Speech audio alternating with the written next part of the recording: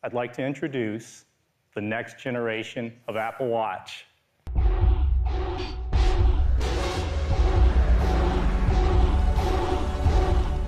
Hey guys, ECRG here. Today we're going to be talking about Apple and how they released not only their three new iPhones, but a big refresh to their Apple Watch. This is the fourth series of their Apple Watch.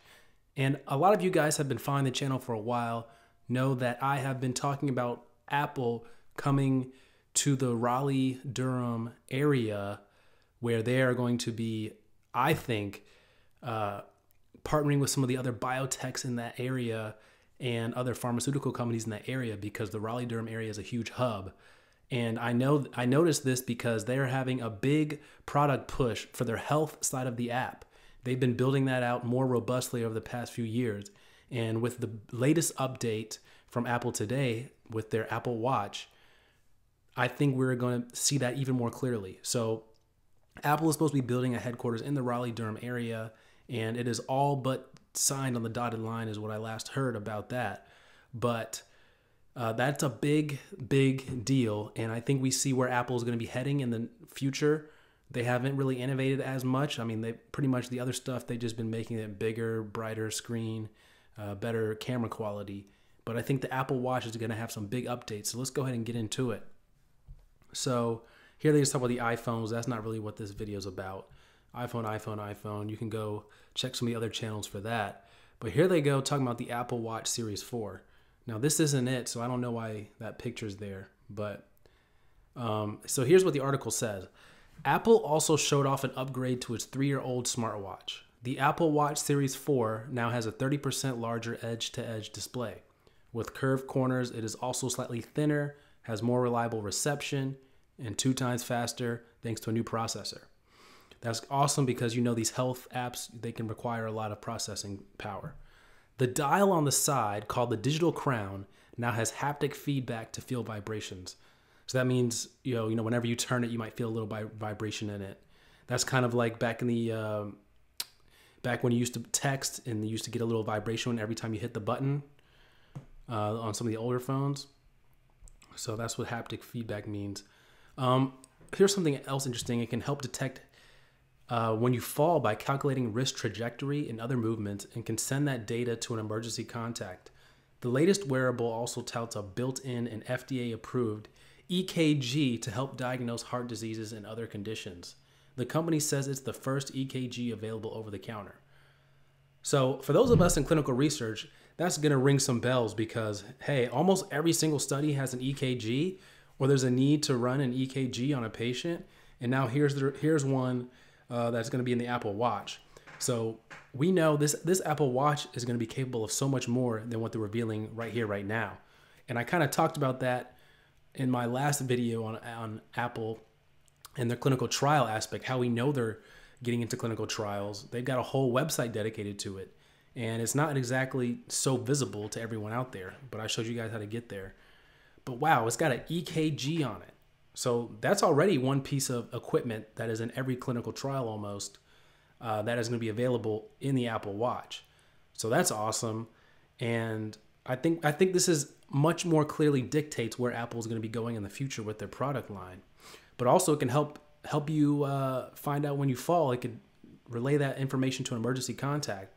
So imagine if you have an AE, you fall down and hit your head or something, have a concussion. The Apple Watch is going to be able to detect that and it's going to automatically alert the site, the study coordinator, the PI know that an AE was happen happen. Hopefully, going to let your CRA know also.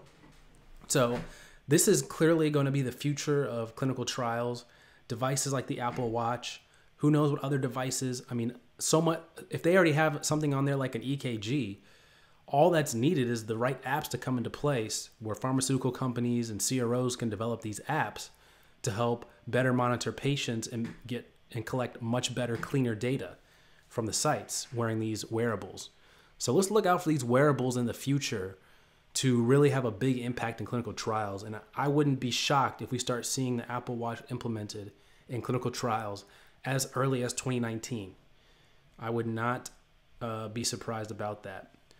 So that's pretty much what I talk what I wanted to talk about. And Also, this this EKG is FDA approved, so that means this is this is for real. This works, and it's amazing that they were able to get it down into something that small. Um, and that just that just goes to show. I mean, they're using big data here. They're using AI. They're using all the future technology to be able to come up with that EKG. I don't know exactly how it works. Hopefully, we'll get some videos on that later how this EKG works. I'll be following up on this story pretty closely. But I'm imagining it's using algorithms and such to come up with the remainder because I'm imagining it's using your pulse and you know who has probably got some other stuff in there too. I don't know exactly, but I'm imagining it's definitely going to be taking looking at your pulse and determining if you had a uh, ischemic heart event or not. So we'll see, guys. Uh, as always, email us eliteclinicalgroup at gmail.com for any inquiries you may have. If you want your resume reviewed, please email us there also. People have been asking a lot about the resume review program, so keep those inquiries coming. Email email me there. We'll take care of it for you guys. We'll get you to that next level. Do not be afraid to invest the time and money you need to to get to that next level. All right, guys, take care. Apple Watch Series 4, everything about it has been redesigned and re engineered. It all starts with a stunning new display. We've pushed the screens right to the edges and we've curved the corners to perfectly match the shape of the watch. And the screens are significantly larger. In fact, they're over 30% larger. You'll see more in maps and photo and calendar. Now, you can add loved ones to your watch face and simply tap to connect with them. It's made entirely of black ceramic and sapphire crystal. Series 4 will be available in three aluminum finishes, silver, gold, and space gray. All band colors and band styles fit any generation of Apple Watch. Apple Watch Series 4 with GPS starts at 399. Series 4 with cellular starts at 499. And we're keeping Series 3 in the line at more affordable prices starting at just 279. You can order Series 4 starting Friday, and it will be available the following Friday, September 21st.